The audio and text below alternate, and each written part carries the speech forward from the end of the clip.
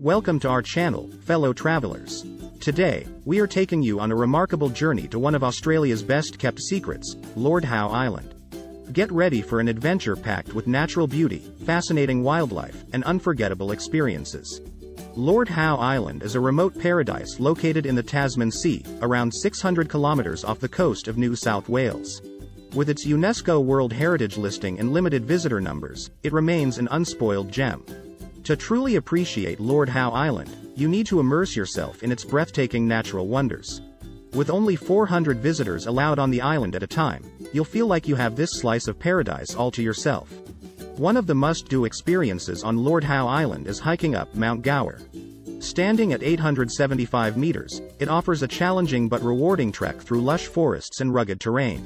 The panoramic views from the summit are simply mind-blowing.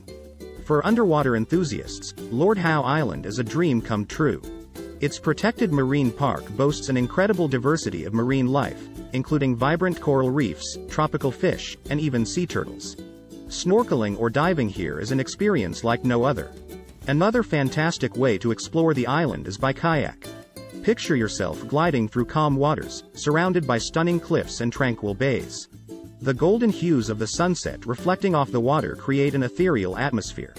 Lord Howe Island is home to a variety of endemic species, making it a paradise for nature lovers. The Kentia palm forests, for example, are a sight to behold.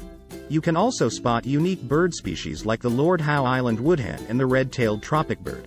And let's not forget about the incredible local cuisine. Lord Howe Island offers an array of culinary delights, with a focus on fresh seafood.